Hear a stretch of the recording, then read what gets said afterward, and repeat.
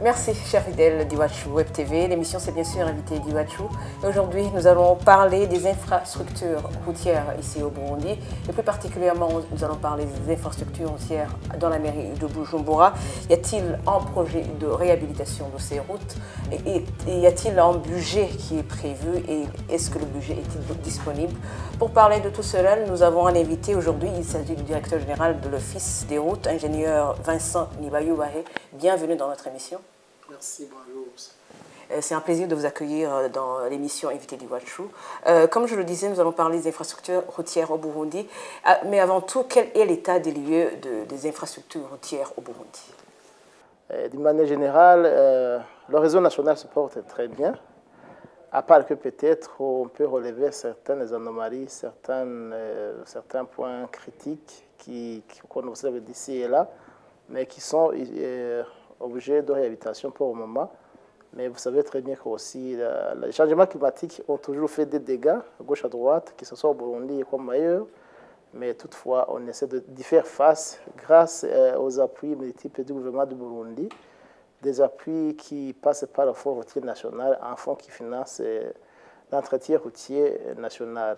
Euh, cependant, à part peut-être le Fonds routier national qui s'occupe de l'entretien et de la réhabilitation de certaines routes classées. Nous avons aussi des bailleurs externes, notamment la Banque africaine de développement, la Banque mondiale, l'OGICA, l'Union européenne, qui interviennent aussi pour des nouveaux projets. Euh, ces bailleurs externes n'interviennent pas pour des, des, projets anciens, au fond, ils ne font pas des travaux d'entretien, mais plutôt il faut la réhabilitation et peut-être aussi peuvent faire euh, des routes euh, quand il s'agit de nouveaux tracés. Là, je peux peut-être vous, vous briefer un peu euh, sur euh, les, combien de routes ont été déjà faites par nos bailleurs externes, combien de routes ont été déjà faites par nos bailleurs locaux, qui le Fonds national, et l'état actuel et les, projets, et les perspectives d'avenir. Mhm. Et quelles sont les routes nationales qui ont été récemment réhabilitées ou euh, construites? Oui, c'est vrai. D'emblée, je vous signale que les routes nationales vont bientôt être changées parce qu'on va passer à un reclassement, parce qu'il y a de nouvelles routes qui, naissent. Et quand ils naissent, des routes montent de grade. La route qui était provinciale devient nationale, ce qui était communal devient provincial. Et les autres routes qui ont été tracées peut-être via les travaux communautaires peuvent être aussi euh, avoir certains numéros. C'est un document qui va sortir bientôt. Sinon, les routes nationales dont il est question, euh, qui ont été réhabilitées par nos bailleurs, principalement la Banque de développement, il s'agit de la RN15, la route qui passe d'Ongozi via euh, Makebuko euh, vers euh, Kitega. Ça s'appelle la N15. Alors, à côté, on peut passer par la pointe d'Oruyigi via Makebuko.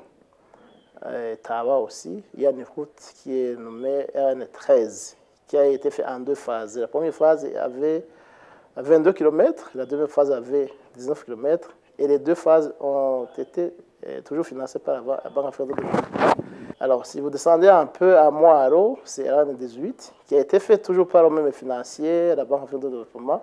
Nous avons fait 30 km de béton bitumineux, de la juste jonction RN7 après Genda jusqu'à Kibumbu, 30 km. Alors, on peut descendre au sud, c'est RN3, à tronçon de 45 km, qui a été fait toujours sur le financement de la Banque de développement, à partir de la frontière avec la Tanzanie Mogina, Mawanda et Nyazarak, 45 km, qui ont déjà été réceptionnés. Et ce projet est aussi comprend les faits que vous voyez à Bujumbura.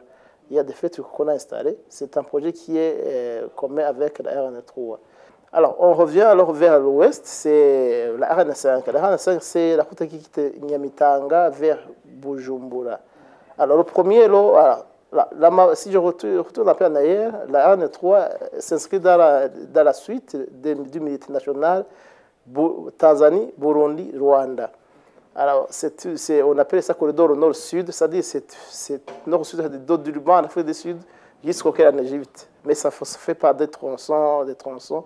Euh, aussi, longtemps que le gouvernement va trouver des financements, on va essayer de boucler euh, tout le tronçon côté Burundi. Alors, côté Burundi, c'est de Mugina à Makamba jusqu'à Roi à Chibitoke. Les tronçons qui sont déjà réalisés, c'est Mugina, Mawana, Yanzarak, c'est déjà fait, réceptionné. Le tronçon Rouhua-Nyamitanga, c'est déjà fait réceptionner. Le tronçon Nyamitanga-Bujumbura, qui est au chantier en cours maintenant, qui est, en train d'être fait par le groupement social Satom Jetra, d'une longueur de 30,1 km, avec un dédoublement côté aéroport jusqu'à Chanik. Dédoublement, ça veut dire deux voies fois deux, c'est-à-dire quatre voies. C'est aussi peut-être euh, le projet de réhabilitation de Nyanzara Rumonge, qui a été déjà prise, euh, qui a déjà été euh, confirmé par les bailleurs des pays arabes, la BADEA, le Fonds cohésien, le Fonds saoudien, le PEP, qui vont financer 52 km à partir de Nyanzara jusqu'à Rumonge. Mais c'est aussi de Rumonge jusqu'à Bujumbura, que la BAD a déjà pris en main. Euh, il y a une mission de préparation qui a eu lieu côté Tanzanie, côté Burundi, où on a confirmé que la BAD va faire euh, le tronçon de Rumonge jusqu'à Bujumbura.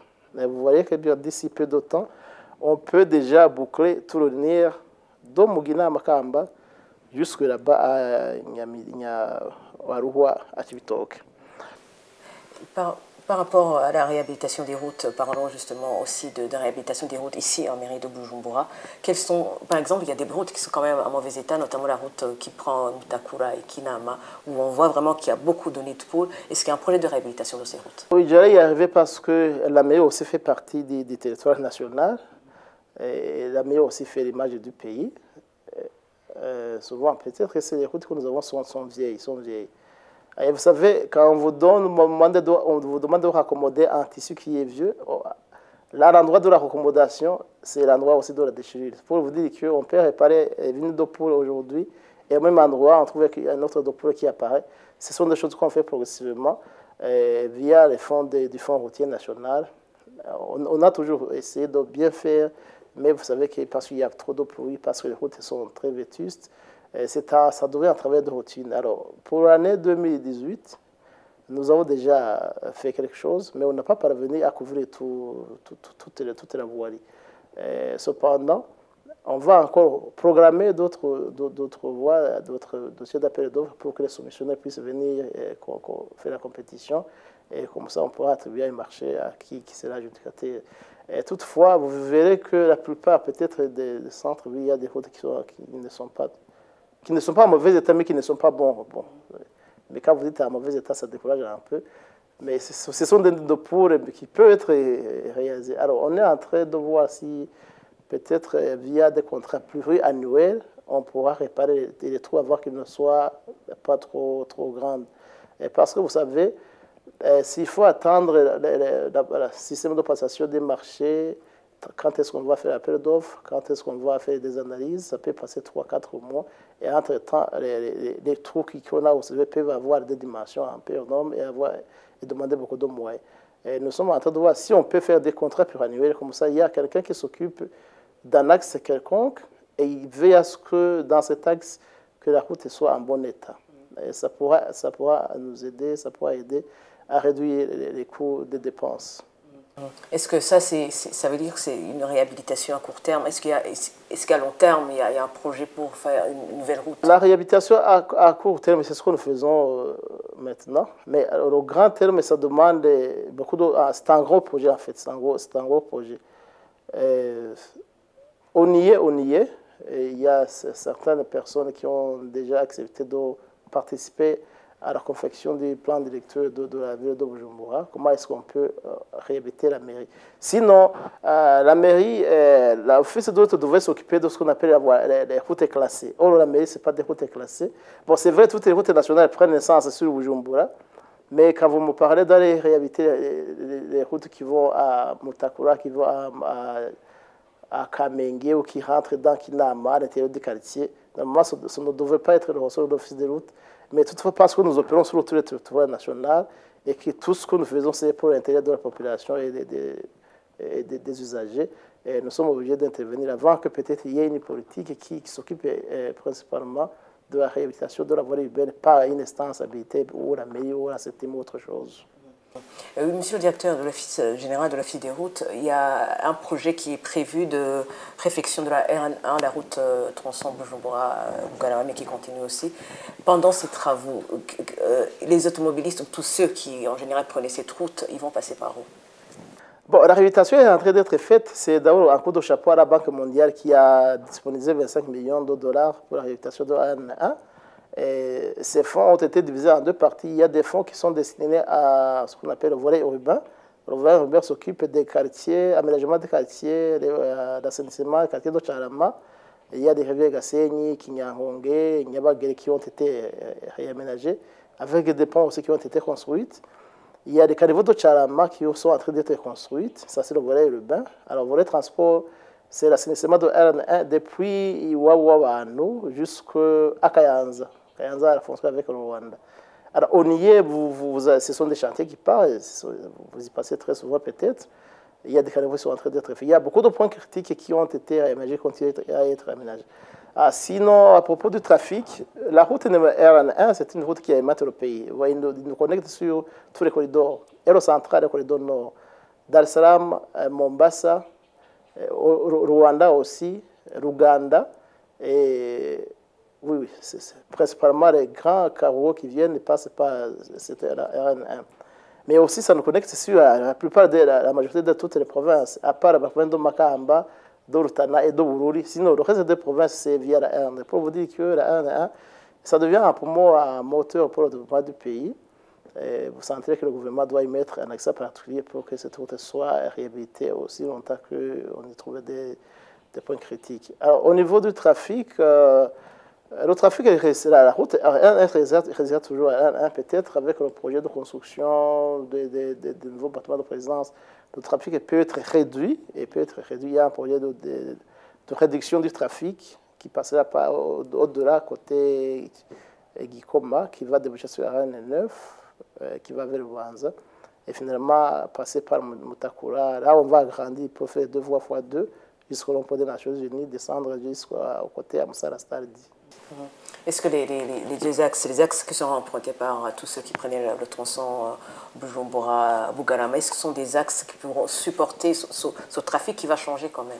Oui, quand, quand, mais vous savez, la, la, la construction d'une route euh, se réfère sur le, le, le poids, du, le tonnage, le flux du trafic. Le dimensionnement se réfère sur le poids du trafic. Ça veut dire que s'il doit y passer de gros camions, la route sera dimensionnée en fonction de son tonnage. Pour vous dire que s'il faut, diminuer le, trafic, la, route qui sera faite sera d'une structure de manière à supporter efficacement tout le trafic.